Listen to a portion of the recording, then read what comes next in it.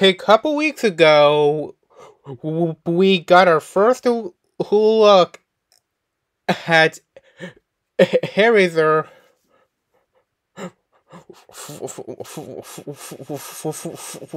for Transformers Rise of the Beasts. Who, who, which we first saw in Transformers Beast Wars. anyway, this is what he looks. So this is his um, robot mode. As you can see, a nice, nice look. You know. Then here's his beast mode, mode which is an eagle. So yeah, a, a, a nice look.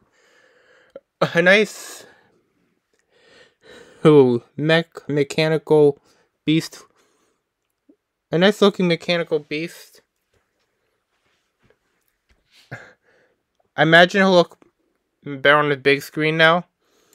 Then here's the other forms of Airazor from the past. And then if we go... Hold, hold on, guys.